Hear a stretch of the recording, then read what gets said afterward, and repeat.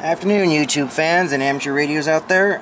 This is Red, and what we are going to be talking today about is adjusting SWR for a magnet antenna. SWR stands for standing wave ratio, and the level on a meter tells you how much of the signal is going out as well as the power. Now, one thing about a magnet antenna is you want to adjust the SWR for one vehicle or one spot you're going to be tuning it to because each ground plane differs. Okay, I've got a Radio Shack CB and a SWR meter with a built-in power level. Now, what we're going to do is um, adjust for SWR. Now, what you want to do is set your um, CB to channel 1, which is right there. Adjust the uh, switch for CAL or calibration. And what we're going to do is we're going to key the mic and where that needle has jumped all the way to the red where it says CAL just on the line. And then you just hit the switch down to SWR and see we've got like a 1.2 1.3 that's really good. Now what we're going to do is going to switch over to 40 because we want to get a good signal coming out of our radio.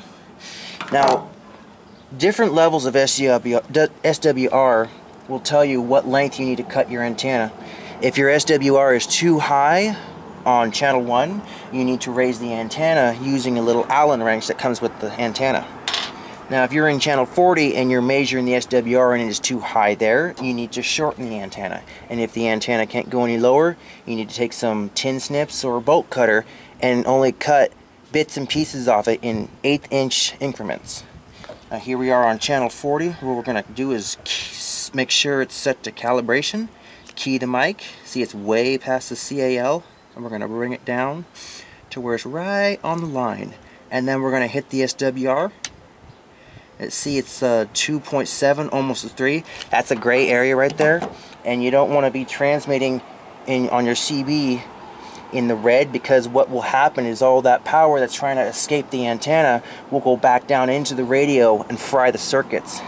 Now to get a good SWR is you want to test, test several channels, channel 1, channel 40, channel 20, or 19 to make sure that you got a very good SWR throughout the whole band. See we're here on channel 20, we're going to switch it back up to calibration. We're going to key the mic and we're going to adjust the knob to where it sets right on the edge and then we're going to switch it over to SWR. Now it's a little bit better than 40 almost a 2.2 on the SWR and um, that should pretty much do it for this YouTube. Uh, leave a comment on my channel and thank you for watching